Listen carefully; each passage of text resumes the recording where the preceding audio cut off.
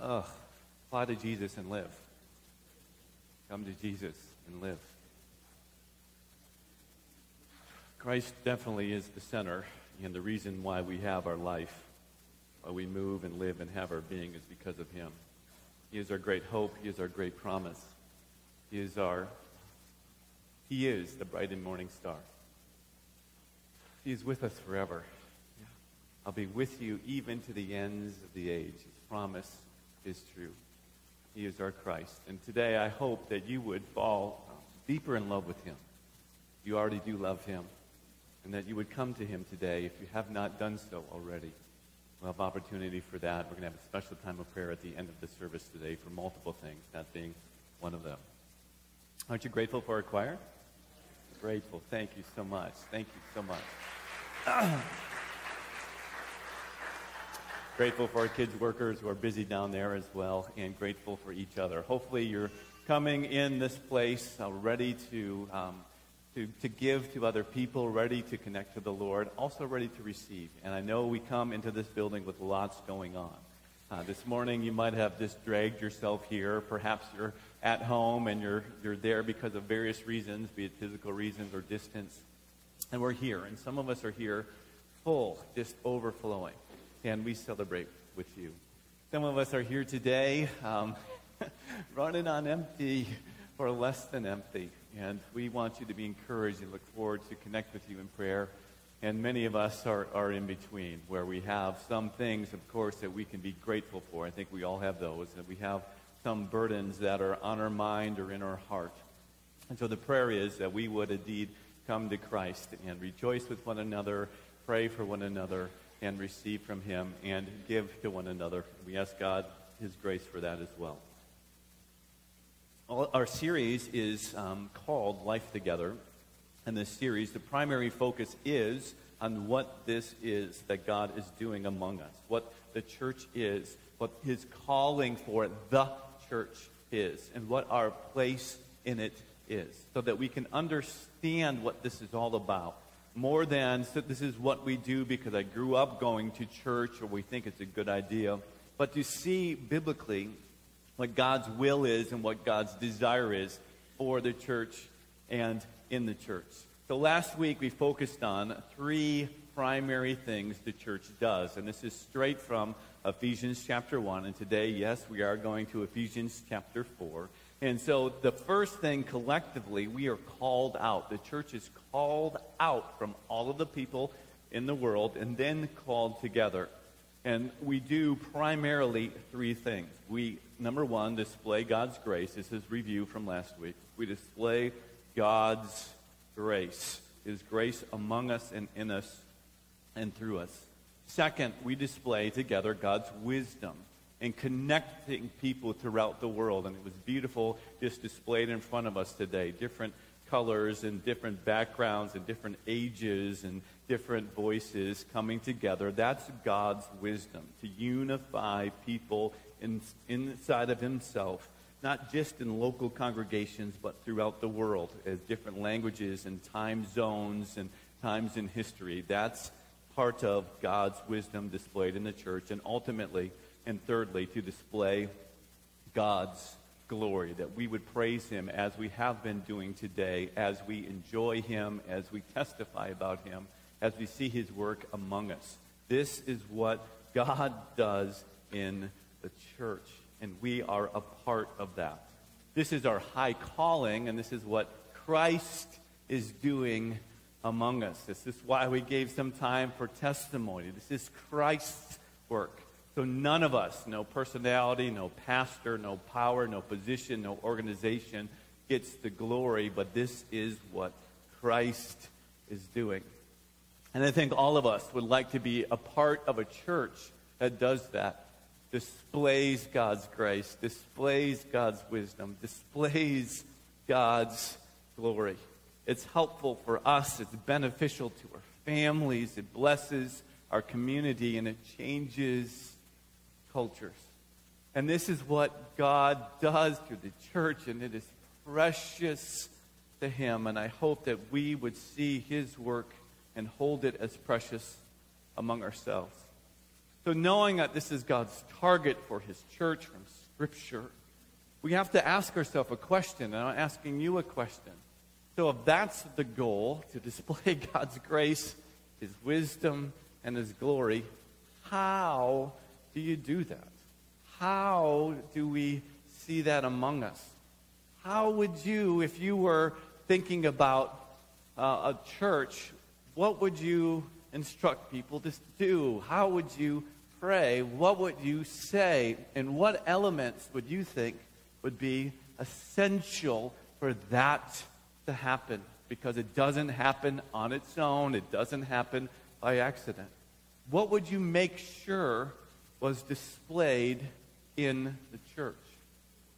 Well, the good news is, as you're thinking about that, we get that instruction. Again, when you read, especially the letters, these are the epistles that are called, primarily written by the missionary apostle Paul. You'll see in the book of Galatians and uh, Ephesians and Colossians and Philippians and other books that he wrote that the first half of the book, roughly, talks about theological truths. And in the book of Ephesians, there are some powerful and profound prayers in the first few chapters. And I would encourage you to read them. I would encourage you to listen to them. I would encourage you to pray them. And what Paul prays is from the Holy Spirit himself. And it's a pray for that church, but it's a pray for prayer for this church as well. And then in chapter 4, we read some words now built upon this foundation of what God is doing through His grace and His wisdom for His glory, knowing that the Holy Spirit helps us in this, right? Nothing that we have to manufacture or try to drum up within ourselves. It's about relying on His Spirit working among us. Then He tells us a few things and starts this way walk in a manner worthy of the calling in which you have been called. I, therefore, this is what he says, a prisoner for the Lord, urge you to walk worthy of the manner of the calling to which you have been called. So we have to understand a little background to this statement. I, therefore, this is the Apostle Paul speaking, a prisoner for the Lord. Paul, when he was writing this book, and many of his books, wasn't doing so in a nice luxury resort on the side of the Mediterranean Sea, sipping a tall, cool drink if you look at his life, it was one of sacrifice, it was one of service, it was one of suffering. Paul knew the glory of the gospel, and in his heart there was a desperate love to convey who Jesus was to the nations, that he went and he served and he suffered. So, with this opening statement, first we have to recognize that walking a life worthy of the calling does not equate mansions and Lamborghinis and cash flow. Someone want to sell you that today? Okay, American Airways put that out. If you look and compare that message with the message that we see in the New Testament what we hear in the Gospels, what we read about in the Old Testament. Often, living a life worthy of the calling means that it won't always be easy. It's going to be good and it'll be worth it. But it does not guarantee you that you will have no trials. Paul could have chosen not to admit that Jesus was the Messiah. You recognize that what he gave up. Paul grew up with a pedigree. He was intellectually sharp. He went to the best school of his day. we equate that to our day. He went to an Ivy League school, so to speak, full ride scholarship to Harvard, per se, or Yale. He had a very bright future, educated by the very best, a part of the ruling Sanhedrin or body of Israel. And Paul, in his recognition that Jesus was the Messiah, the long awaited Messiah, saying that, ostracized from all of those that, that he wanted to be esteemed with, set aside or, or changed his education, changed the whole trajectory of his life because he believed the truth about Jesus. When you believe about the truth about Jesus, we talked about that a few weeks ago, it changes you. Changes you. Church is built on the recognition of who Jesus is. He is indeed God in the flesh. He is the balance between truth and grace. It's God's perfection. Love meeting and fulfilling justice for our sin. Once that revelation comes to you, you are changed. This happened to the Apostle Paul. He was heading one direction. He thought, in the name of God, persecuting Christ. People, by the way, do that this day. In the name of who they think is God, persecute Christ in his church. Paul encountered Christ. He was changed forever. I, therefore, a prisoner of the Lord. He says pastorally, he says apostolically, he says by the Holy Spirit, I urge you. No one can force you to follow Jesus. You have to choose this. And we choose this based upon the truth of what we know of him, the pearl of great price, the ultimate king, the one who loves us truly, fully. Paul says, in light of this, hey, now I urge you to walk in a manner worthy of the calling. And this term, walk in the manner, means, like, you guys remember those um, old scales, you know, you would put weight on one side and you balance it out. Okay, that's how they weighed things back in their day. And you still see those on rare occasion these days. But this word means walk in a manner worthy of the calling, that our calling, the weight of our calling, as a church, to display God's grace, to display God's wisdom, to display God's glory, that the weight of that calling would be equal to walking in a manner worthy of how we live, so there would be balance between them. This is what this means. And if you read the book of Ephesians, I encourage you to be doing, in particular for this series, you'll see this word walk, which just means live. Put these things into practice five times in the remainder of this passage. So, our call is to know this stuff, but better stated, and rightly so, to embody. Embody. The world does not need more people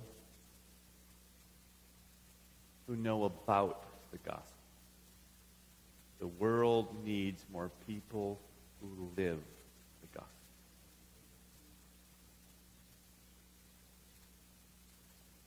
That's what this means. And so we all desire, the world honestly longs for a community that is full of grace.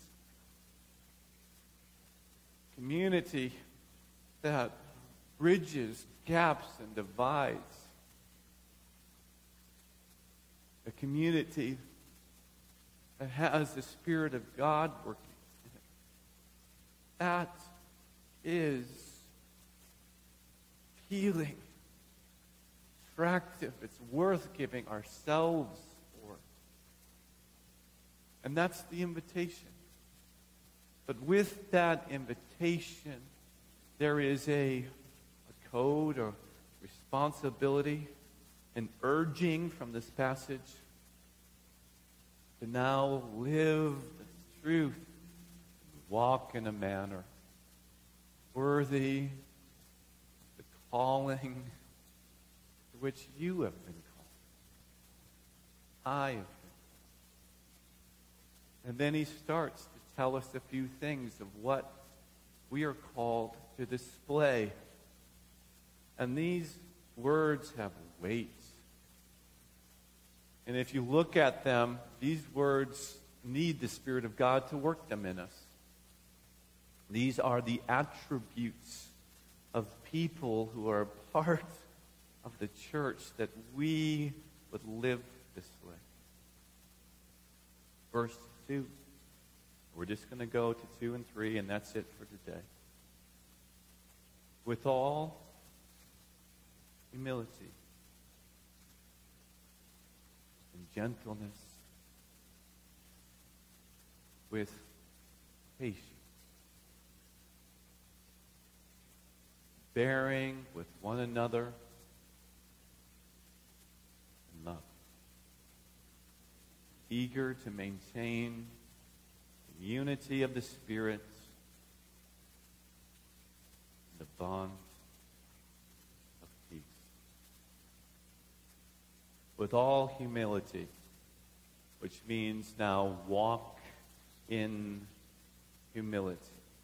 Be a person who, when you interact with others, it's done so in a humble way. Now, what helps us to be humble is understanding that we are we are because of the grace of God. You see how that connects? Display His grace. And so, if that's the case, then we have to understand it's His grace we are saved. God, in His grace, has given you your talents whatever they are. God, in His grace, given you your abilities, has gifted you. God, in His grace, gave us bodies that heal. God, in His grace, gave us this planet, our salvation, for forgiveness. He gave us eternity. God, in His grace, will resurrect those who are in Christ. And helping you and I with humility is understanding the depth of God's grace to you. The brightest star and the strongest football player, if you're into football, watching this afternoon perhaps, or the strongest singer or the most intellectual uh, academic, they have their talents, their abilities, even this planet because of God's grace. We need to, um, we must have a deeper recognition of God's grace. And once you get a hold of that, you display humility. And humility is not thinking less of yourself. It's thinking of yourself less. Humility is not thinking less of yourself. I'm not saying, well, to be humble, you have to downplay your talents. What it means is you don't think about yourself all the time, but you think more of others and more of God. Hear that. There's a false humility. I'm not saying that. Be confident what is God, God has done, but recognizing God has done it. Humility, not thinking less of yourself, but thinking of yourself less. and thinking more of others. Now, the opposite of humility is pride, and pride, pride is problematic because it now places people in competition with each other with a false ranking system. I remember in high school that uh, I was desperate for affirmation, I was desperate for love, and I thought, as the world thinks, in order for myself to have value, I must accomplish things. And so I worked hard. You would have not seen anyone who tried, well, I can't say it that fully, but I tried hard, okay? And I was involved in one thing after another, from three different sports to academic honor rolls to choirs and to bands and to student government and on and on and on and on and on. And I did that not to display God's glory. I did it to try to get glory to me. I wanted people to see how great I was. And when I failed at something, if I got a third place ribbon instead of a first place ribbon, I felt I was worthless. Wrong way of thinking. My value was based upon what I accomplished versus what God said about me. I came to Christ, He started to heal me and tell me my value is not in how I perform, but what He's done. Changed. Now I interacted with people and loved people to a degree that Christ loved them. And not, I'm not trying to highlight myself here. Okay? Hear me. This is just an example. Why is that? Because of his grace. And to, true humility comes from security, and security comes from knowing that your identity is centered in what God says about you and in his grace given to you. We don't rank people differently, we love all in Christ. Does our society rank people differently, by the way? 100%. But if you understand God's grace, you love people indifferently regardless of their background, regardless of their bank account, regardless of their external beauty. Humility must be active because of God's grace. This is how God asks us to live. First Peter 5 5 tells us that God and this is a scary verse, opposes the proud. But he gives grace to the humble. Life is hard enough how it is. You do not want to be opposed by God. God says to the proud, well, if you think you got it, you think you're enough, go right ahead. Without His grace, we have a very short wick, short rope, even a short life.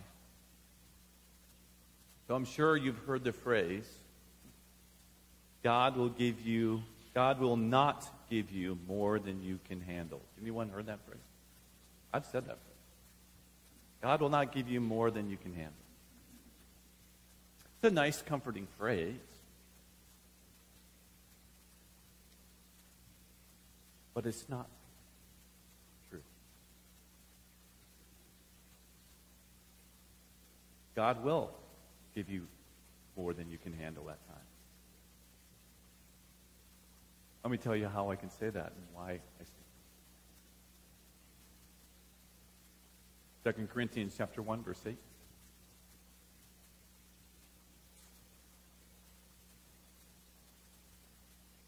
For we do not want you to be unaware, brothers and sisters, of the affliction we experienced in Asia with Paul in one of his missionary journeys and his companions. For we were so utterly burdened beyond our. That we despaired of life itself.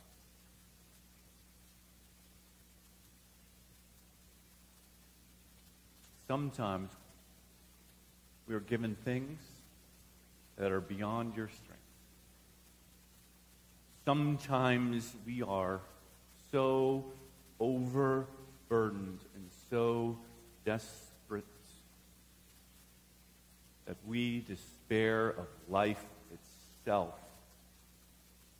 Again, know who's saying this? The Apostle Paul. He was not a weak man. If you are there and if you have been there,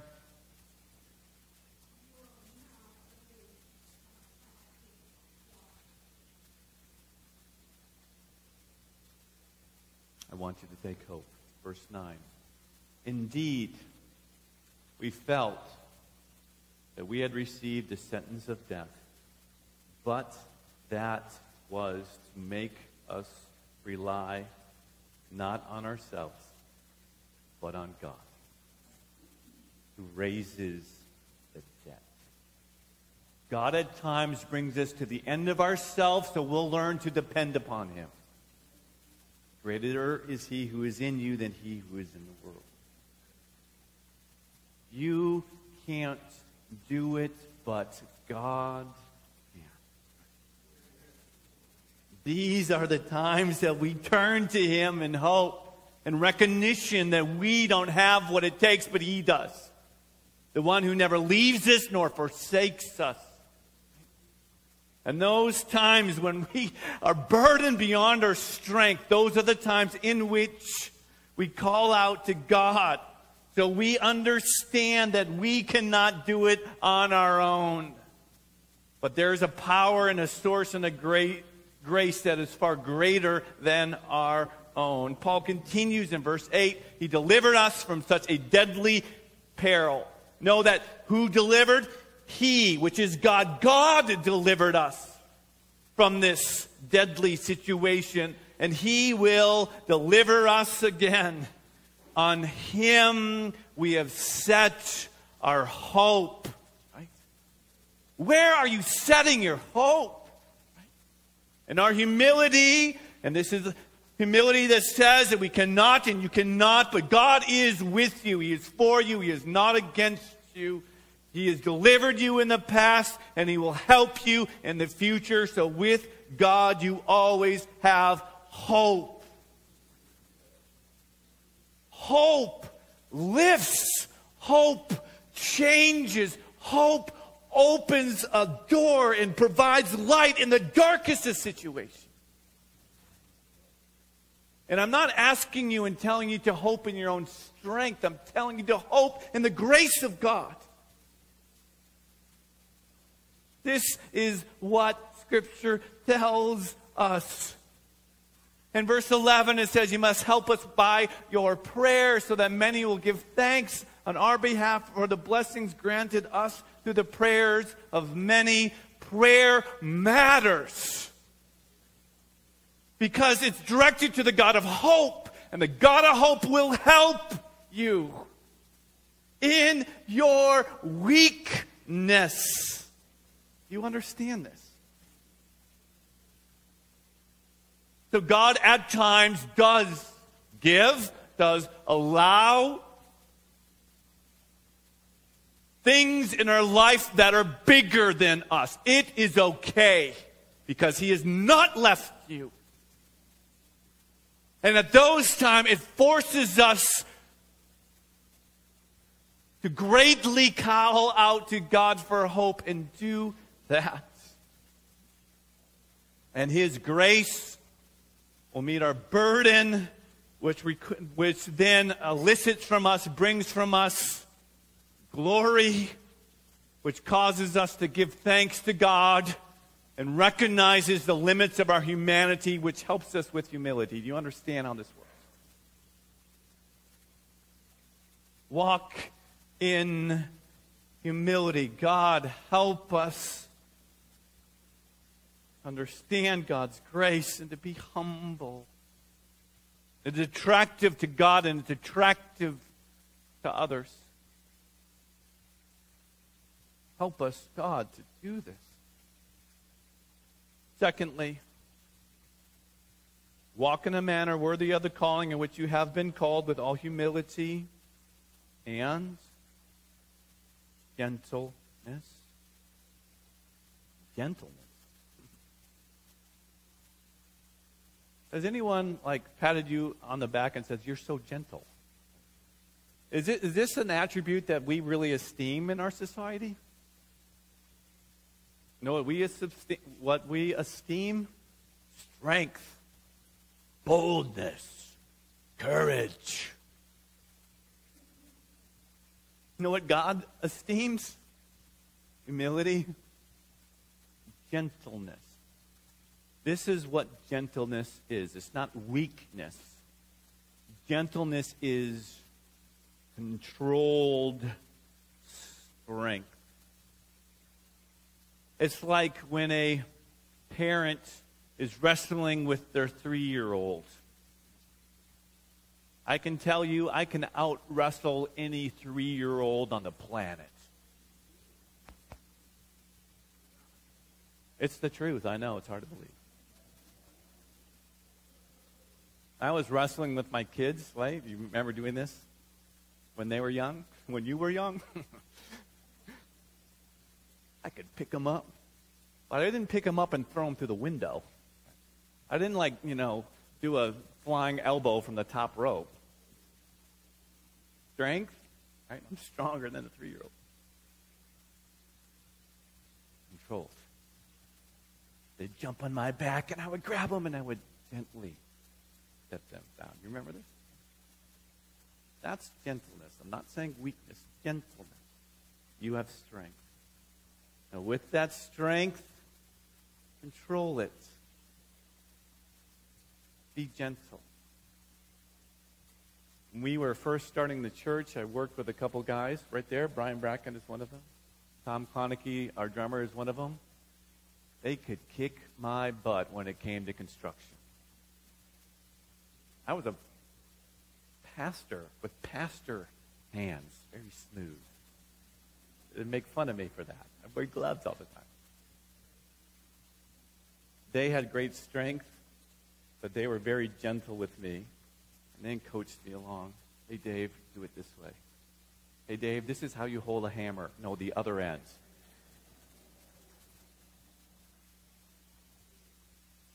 Strength controlled, help me to grow.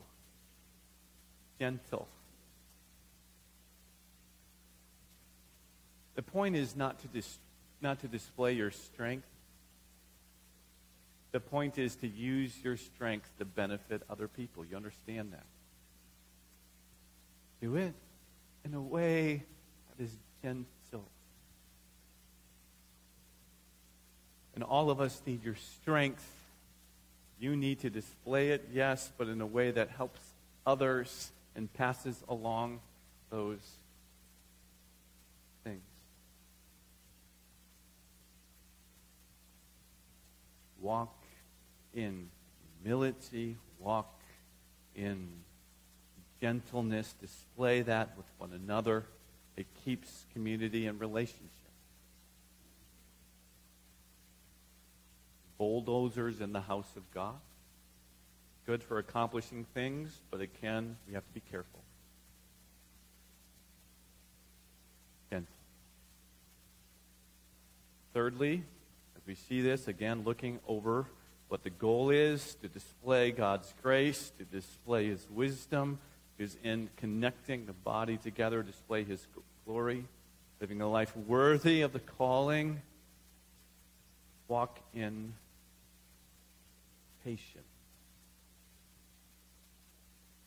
Patience is a word that I hate. True. Be real honest. I'll spin it uh, that makes myself look better. I'll say, I want to be efficient. So get out of my way. Right? That's what I do. I don't know what you do. That's what I do. Not saying it's right. Patience? Oh, I hate that. God, do your work in me. And biblical patience, by the way, is remaining tranquil while awaiting an outcome.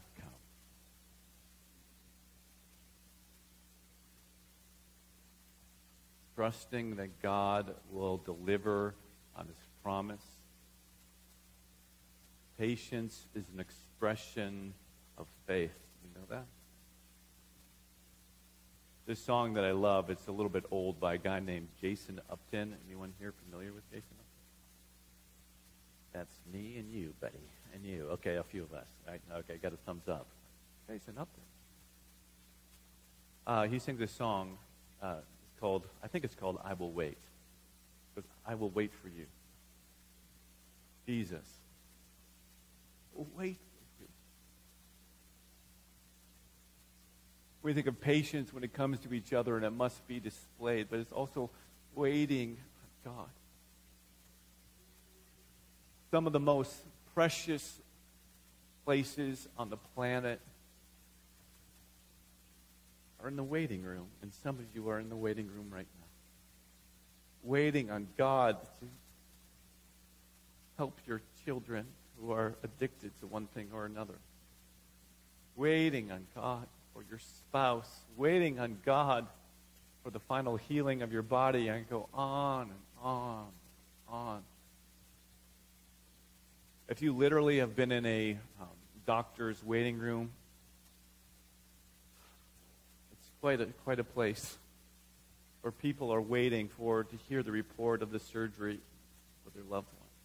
They're waiting for a child who got in a car accident. There's waiting. There's lots of angst. So, this patience is choosing or often being forced to wait, but remaining at peace while awaiting an outcome. This is the patience that Noah must have displayed waiting for the door of the ark to close. The patience that the water will indeed diminish. This is the patience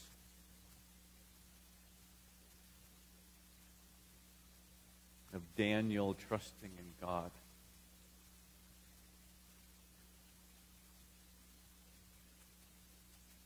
That he will be delivered from a den of hungry lions.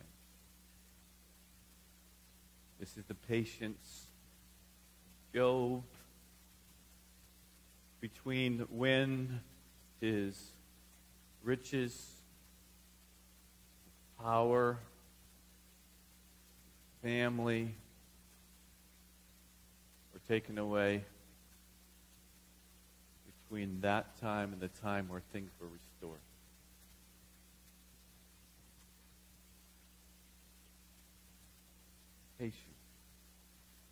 In your situations and circumstances and irritations.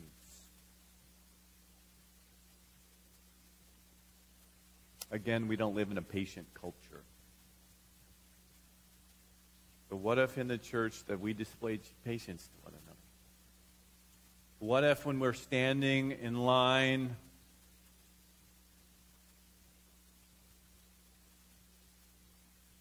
we were patient. That's not a natural tendency. So, in order for us to display God's grace and His glory, we need humility to walk in it, gentleness. Lord, help us, patience, one another. This is how these things are displayed.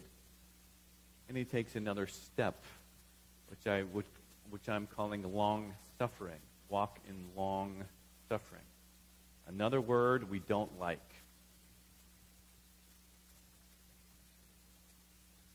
This is in the verse, verse 3, bearing with one another in love. Because we love each other, we don't break off relationships over things that continually annoy us.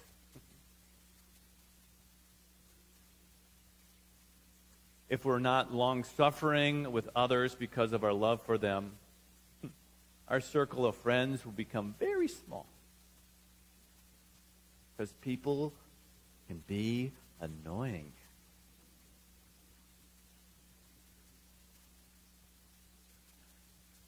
They annoy us, but guess what? You probably annoy other people too. Got an amen over here. that directed at me, Mario. Amen, brother. Now you're preaching. We're so easily annoyed, it's pathetic. Long suffering is the exercise. I like this phrase. I read this in the commentary. I thought it was great. Long suffering is the exercise of a largeness of soul that can endure annoyances and difficulties over a period of time. Ooh.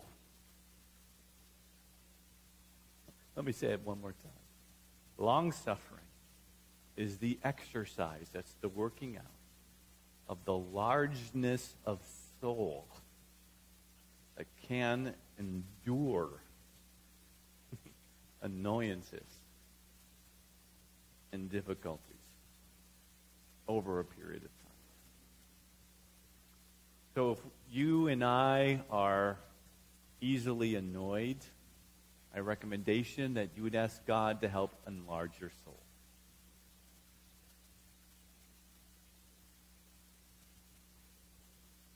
For long term relationships to continue going forward, we need to bear with one another in love. In doing this, we continue to connect. Because if you and I broke off relationships with everyone who annoyed us, you'd be living by yourself. Then after a while, you would get tired of your even yourself. Right? So the prayer is, God, help us to live, I love that phrase, with large souls. right? God, help us to expand that. Long suffering. And lastly, for today, walk in unity. This is the last part of the verse. Eager to maintain the unity of the Spirit in the bond of peace. What are you most eager to maintain? Your health? Your income? Comfort? Your position? Your opinion?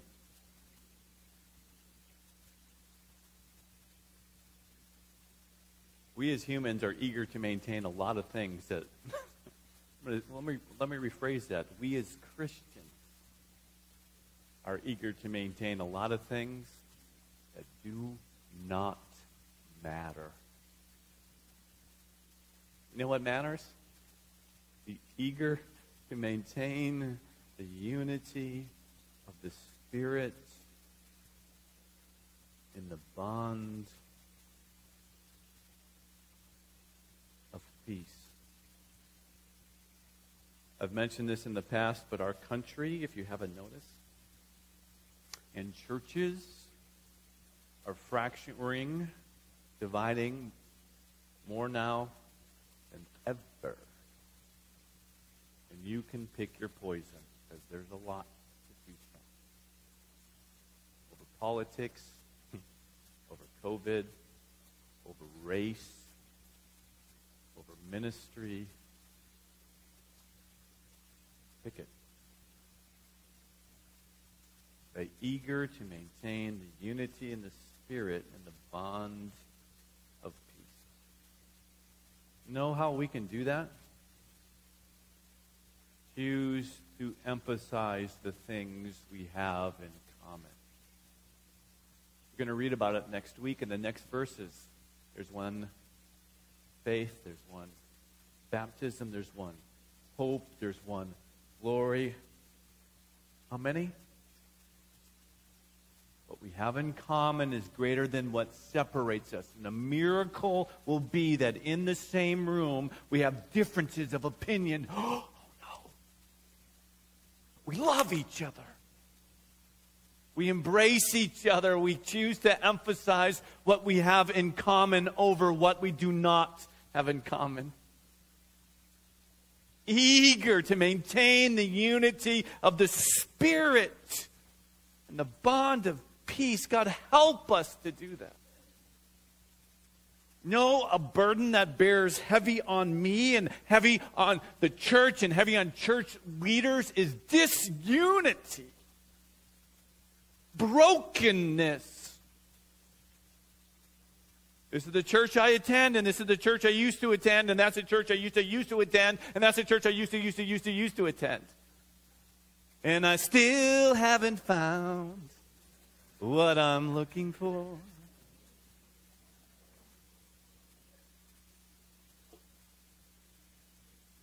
Maybe the problem isn't with the church. Maybe the problem is with you. You're meddling now, Pastor. Granted, there are times in which the calling and grace of God, there are legitimate reasons to step away. I'm not saying, not making there's space. But doing so in a way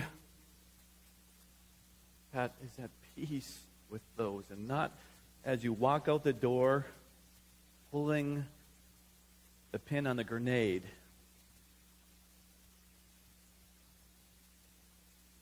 That's what we're talking about. The world knows how to be divided. the world does not know how to be unified. We, the church, have an opportunity because of what binds us together to live this.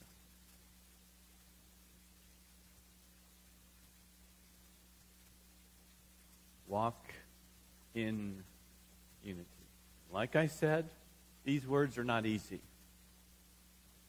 I want you to think about it. Live a life worthy of the calling in which you have been called to display God's grace, God's wisdom, God's glory, done so in walking in a manner worthy of the calling, which means, God, help us to be humble, help us to be patient, help us to be gentle, help us to be long suffering, help us to be eager to maintain the unity of the Spirit. And we need God's grace for that. So, this is what the Word calls us to do, and this is what I'm asking us to do. And if we do this, this place will have greater joy, greater thanksgiving, greater glory to Christ. It'll be the word. Attractive, but also interactive with our community. Redemptive, that's the word. Making a di- difference in Rockford and throughout the world. bring about the obedience of faith for the sake of his name among all the people. And so I'm going to pray for us. The musicians are going to come up, if you would, please. And like I mentioned in uh, the beginning, occasionally we're going to do this, and today is one of those days. That I'm going to pray for us generally, and then there'll be a special time of prayer. That if you are here today, and uh, in response to what's going on in your life, you have a special burden. And that could be, there's a gamut of things. And if you want to say, you know what, I want uh, prayer today. After I'm done praying, I'm going to invite you up here. You can just kneel up here. Um, there's some spots here you can sit or sit up here, whatever you want to do. I'm not asking you to, to tell myself and others who will be praying for you. We're just going to go by and we'll pray for you. God, bless Jenny if Jenny's up here, and I'll, I'll pray for her. And we'll just go if you have a special burden. Or if you have something that you just want to thank God for and say, God, I just want to thank you for this, come. Perhaps it would be in response to this message. Maybe you're like, convicted, right? God, I need some help with patience. Giving you an opportunity to do that. It doesn't mean if you don't come up here, you're not looking for prayer. I'm not saying that. All I'm saying is this is an opportunity for just a special time of prayer, and we'll pray for you. So I'm going to pray. Gen, uh, I'm going to pray for all of us, and then I'm going to invite you to come, and then um, Rob's going to lead us in a song or two or three. And if you need to go, of course, you're free to go. If you want to stay, you're, you're free to stay. So let's pray. God, as I look around this room for this vantage point, and I know there's others joining us in another, another room and houses. Sometimes I wish that everyone could see what I can see from up here. God, there's faithful people here in this room. they come to early morning prayer meetings in their 90s who have given their life as missionaries, who've kept in community with their spouse, love and give. God, what a what a glorious place. Those who chose to band together with other other church, other churches, because they want you to be glorified. God, this is incredible. And so we're walking with you in your word. We're being instructed by your Spirit, God. Hear your voice calling us to things that are greater than us. we ask, God, have your way among us here. In each of our hearts, God. And we need help, Lord. To be humble, gentle, patient have peace be long suffering. God, we need you. And so, God, I ask, Father, that your word would sink in our hearts today. And you would apply it to us and our spirit, and that you would just go beyond knowing the gospel, that we would live it and help us.